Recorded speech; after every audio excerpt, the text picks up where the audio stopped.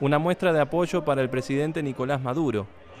Con esa consigna, cientos de simpatizantes salieron a respaldar al mandatario venezolano tras el supuesto ataque con drones en su contra. Venezuela quiere paz.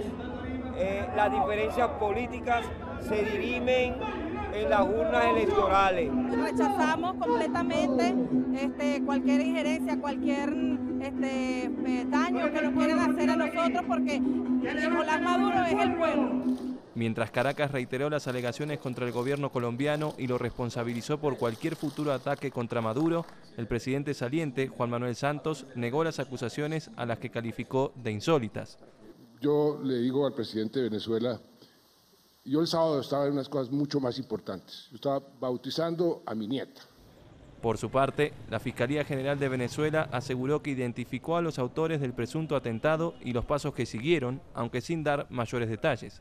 Se ha identificado a los explosivistas que armaron los artefactos. Ya se ha establecido las primeras conexiones internacionales de dichas personas.